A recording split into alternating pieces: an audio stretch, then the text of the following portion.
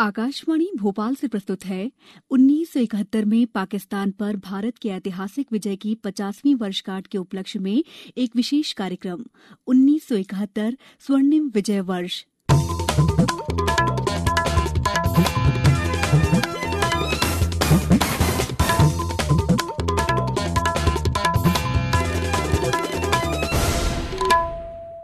विश्व राजनीति के इतिहास में 16 दिसंबर एक यादगार दिन है। विजय दिवस 16 दिसंबर को 1971 के युद्ध में पाकिस्तान पर भारत की जीत के लिए मनाया जाता है, जिसके बाद पूर्वी पाकिस्तान आज़ाद हो गया, जो आज बांग्लादेश के नाम से जाना जाता है। इस युद्ध ने दक्षिण एशिया की जमीनी राजनीति को बदल दिया और युद्ध समाप्ति के बाद तिरानबे हज़ार पाकिस्तानी सैनिकों ने आत्मसमर्पण कर दिया था।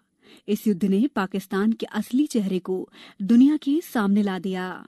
1971 का युद्ध पश्चिमी पाकिस्तान की दमनकारी नीतियों का नतीजा था, जब पूर्वी पाकिस्तान की जन भावनाओं को सैनिक ताकत से कुचलने का आदेश दे दिया गया था, जिसके कारण भारत में 10 मिलियन से अधिक शरणार्थियों का पलायन हुआ। शरणार्थी इतने परेशान हुए जिसकी कल्पना भी नहीं की जा सकती। भारत ने सैन्य शक्ति का उपयोग सिर्फ़ तभी किया जब किसी भी परिस्थिति को हल करने के लिए सभी राजनीतिक और राजनयिक प्रयास विफल हो गए थे। 2020 बांग्लादेश के इतिहास में एक विशेष स्थान रखता है, क्योंकि बांग्लादेश के राष्ट्रपिता बंग बंधु शेख मुजीबुर रहमान का ये जन्म शताब्दी वर्ष भी है। तीन दिसंबर 1971 को पाकिस्तान ने भारतीय वायु ठिकानों पर बिना किसी कारण के हवाई हमले किए। उसके बाद पाकिस्तानी सेना ने दिसंबर 1970 में देश में चुनाव कराने का निर्णय लिया। 1970 में पाकिस्तान की सेना ने सत्ता से हटने का फैसला किया और चुनावों की घोषणा की। इसके नेता शेख मुजीबुर रहमान के नेतृत्व वाली आवामी लीग ने पूर्वी पाकिस्तान में चुनावों को गति दी, लेकिन मिलिट्री जुंटा उन्हें सत्ता हस्तांतरित करने के लिए तैयार नहीं थी।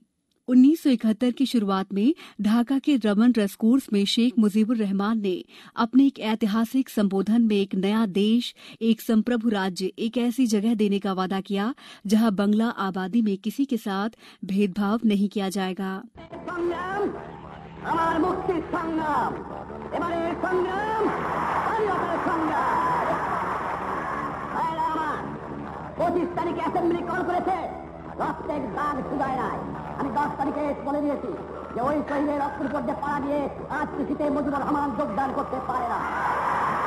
জয় বাংলা। मुक्ति वाहिनी या मुक्ति फौज का उद्देश्य एक संप्रभु बंगला राष्ट्र के सपने को साकार करने के लिए शेख मुजीबुर रहमान के सपने को साकार करना था। पूर्वी पाकिस्तान में लेफ्टिनेंट जनरल टिका खान, जिन्होंने ऑपरेशन सर्चलाइट की अगुवाई की थी, उनके नेतृत्व में पश्चिमी पाकिस्तान में विद्रोह और आतंक की लपटें पहुँची। इस क्रूर हमले को मुक्ति फौज ने बंग बंधु के आह्वान के बाद देश के बड़े इलाकों को आम आबादी के समर्थन में जल क्षेत्र में नियंत्रित किया। और मानसून आने तक सितंबर 1971 में सेना ने अपने आप को पुनर्गठित कर लिया था। स्वतंत्रता सेनानियों ने सीमा पार कर भारत में शरण ली। ये वो समय था जब सीमा सुरक्षा बल और पाकिस्तानी सेना के बीच झड़पें शुरू हुई थीं। स्थितियाँ ऐसी बनने लगी कि दोनों देशों के बीच युद्ध का आगाज़ होने लगा था। लेफ्टिनेंट जनरल जगजीत सिंह अरोरा, जो 1971 में पूर्वी पाकिस्तान में ऑपरेशन के प्रभारी थे, इन पलों को याद करते हुए उन्होंने कहा कि the planning was done in good time because we had the time. And the second thing is that we realized that unless we achieve success in the shortest possible time, the United Nations and the other major nations would like to try us from carrying on fighting as a ceasefire rather than giving us time to have proper victory. So we didn't want anything less than victory. I evolved that we should be able to surprise and we should also be able to have mobility. Sparse. तीन दिसंबर को युद्ध शुरू हुआ, लेकिन उससे पहले ही भारतीय सेना ने बोयरा की लड़ाई में जीत दर्ज कर ली 21 नवंबर को पश्चिमी क्षेत्र के बोयरा, उत्तर पश्चिमी क्षेत्र में पहाड़ी, पूर्वी क्षेत्र में अखौरा और उत्तर पूर्वी क्षेत्र में सिलहट में लड़ाई लड़ी गई तीन दिसंबर को भारत की तत्कालीन प्रधानमंत्री इंदिरा गांधी ने आधी रात को राष्ट्र को संबोधित किया। उसी रात भारतीय वायुसेना ने जवाबी हमला किया। सेना की ये योजना बनाने वालों में से एक भारतीय वायुसेना के एयर मार्शल एच सी देवान भी रहे।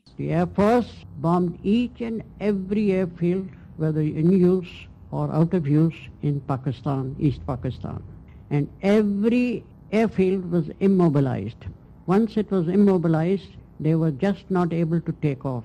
We dared them, more or less, to really fly over some of their military airfield, which was primarily in Dhaka, Tezgaon, but they did not come up because they realized that the Air Force was quite superior in, to them.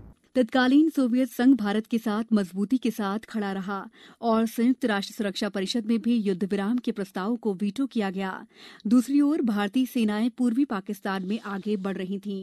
The Air Force promised us to give favorable air situation, which they achieved within the first 36 to 48 hours, and kept the enemy practically grounded. And they were able to give us certain amount of support to make up heavy artillery, and because it was not possible on these byways महत्वपूर्ण योजना के तहत पूर्वी पाकिस्तान को अतिरिक्त आपूर्ति पहुँचाने वाले समुद्र और वायु दोनों साधनों को अवरुद्ध कर पाकिस्तानी बलों को कमज़ोर करने की हर संभव कोशिश की गई युद्ध में अग्रणी भूमिका निभाने वाले वॉइस एडमिरल मिहिर कुमार रॉय ने कहा कि we prevented any of the ships and prisoners moving out by the calls, etc., because we had aircraft that operated night. And when I spoke to Admiral Sharif when he was a prisoner in Fort William, and he said I was deaf, I was blind, because day and night the Navy hammered us in all the inside khals, etc., leading to the sea. इस युद्ध को सबसे छोटी अवधि के युद्धों के रूप में याद किया जाता है जिसने दक्षिण एशिया की भू राजनीति को तीन दिनों के भीतर ही बदल दिया था तत्कालीन प्रधानमंत्री इंदिरा गांधी द्वारा संसद में भारतीय सेना को युद्ध की स्वीकृति दी गई The people of Bangladesh battling for their very existence and the people of India fighting to defeat aggression now find themselves partisans in the same cause. The government of India have, after the most careful consideration, decided to grant recognition to दूसरी ओर, भारतीय थल सेना पूर्वी कमान से सुनिश्चित कर रही थी कि युद्ध लंबे समय तक ना चले। इस बीच, पाकिस्तानी सेना द्वारा पीछे हटने के किसी भी प्रयास को विफल कर दिया गया।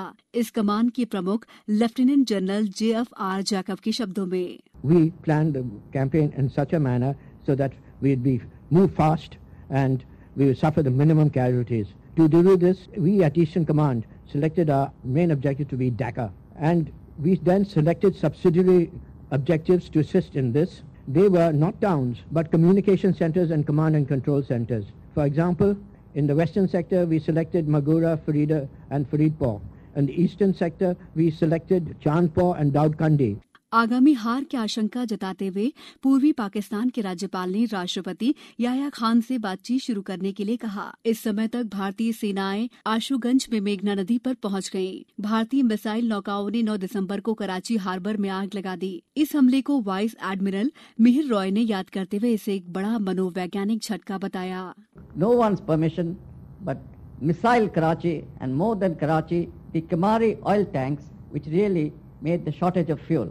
Besides that, it broke the morale of the Pakistan Navy and the people in Karachi. पूर्वी मोर्चे पर भारतीय बलों ने मेघना नदी को 36 घंटे के लंबे वायुसेना अभियान के बाद पार किया। विपरीत परिस्थितियों में स्थानीय आबादी और मुक्ति वाहिनी ने भारतीय सेनाओं की मदद की। We had situation as far the population is concern so wherever we went they were ready to help us Pakistan ने आईएनएस विक्रांत पर हमला करने के लिए अपनी अमरीकी पनडुब्बी पीएनएस गाजी का उपयोग करने की योजना बनाई। उसकी ये योजना कैसे फेल हुई? जानिए आईएनएस विक्रांत के वाइस एडमिरल प्रशांत से।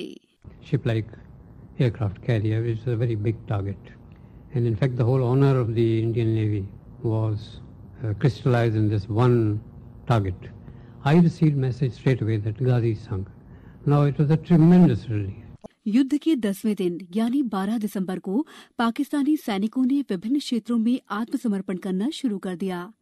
तब तक ढाका भारतीय सैनिकों से भरा हुआ था, जो तांगेल और नरसिंगदी से चले गए थे। फिर ऑल इंडिया रेडियो पर सेना प्रमुख जनरल सैम मानेकशा द्वारा ऐतिहासिक प्रसारण आया, जिसमें जनरल न्यासी को हथियार डालने के लिए कहा गया। उन्होंने जिनेवा कन्वेंशन के अनुसार उन्हें इलाज का आश्वासन दिया। इधर पाकिस्तानी राष्ट्रपति याया खान ने पूर्वी पाकिस्तान के गवर्नर को लड़ाई खत्म करने के लिए सभी कदम उठाने के लिए अधिकृत किया। एक महत्वपूर्ण बैठक के बाद राज्यपाल ने इस्तीफा दे दिया।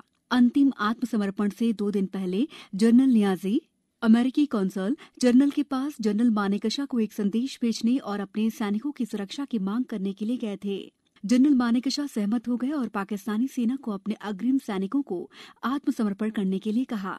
इस घटनाक्रम पर सुनिए जनरल जैकब के विचार As we landed, I was received by the Pakistan Army Chief of Staff, plus there were the foreign press, the whole lot of them, as well as the United Nations representatives who offered us their good services to negotiate. I felt that they had no role in the surrender, so I thanked them, and I then proceeded on towards Niazi's headquarters. We had a lot of trouble in reaching Niazi's headquarters. The fi- fighting was still going on in the bits of the town. We could hear the firing, and Mukti Bahini stopped us, and they wanted to attack N- Niazi's headquarters.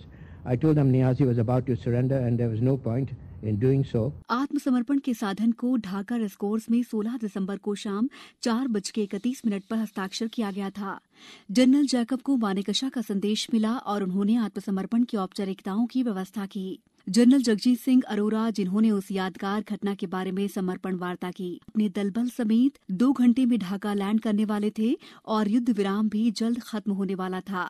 Jacob जब नियाजी के कमरे में घुसे तो वहाँ आत्मसमर्पण के दस्तावेज़ मेज पर रखे हुए थे। शाम के साढ़े चार बजे जनरल अरोड़ा हेलीकॉप्टर से ढाका हवाई अड्डे पर उतरे। अरोड़ा और नियाजी एक मेज के सामने बैठे और दोनों ने आत्मसमर्पण के दस्तावेज़ पर हस्ताक्षर किए। नियाजी ने अपने ने बिल्ले उतारे और अपना रिवॉल्वर जनरल अरोड़ा के हवाले कर दिया।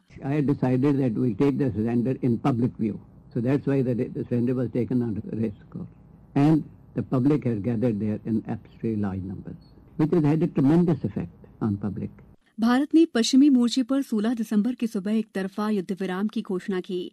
युद्ध समाप्त हो गया था और एक नए राष्ट्र का जन्म हुआ। बांग्लादेश अस्तित्व में आ गया था।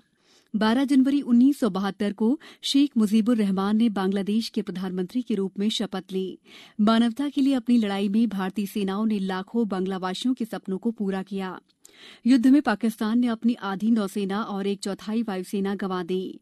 कृतज्ञ राष्ट्र आज 3,500 से अधिक भारतीय युद्धवीरों को याद कर रहा है जिन्होंने इस युद्ध में अपनी जान गंवा दी। तत्कालीन पूर्वी कमान प्रमुख जनरल जैकब ने बहादुर सैनिकों को एक कविता के ज़रिए श्रद्धांजलि अर्पित की। What passing bells for these who die as cattle? Only the monstrous anger of the guns, only the stuttering rifle's rapid rattle can patter out their hasty orisons. No mockeries now for them, no prayers, nor bells, nor any voice of mourning save the choirs, the shrill, demented choirs of wailing shells and bugles calling for them from sad shires.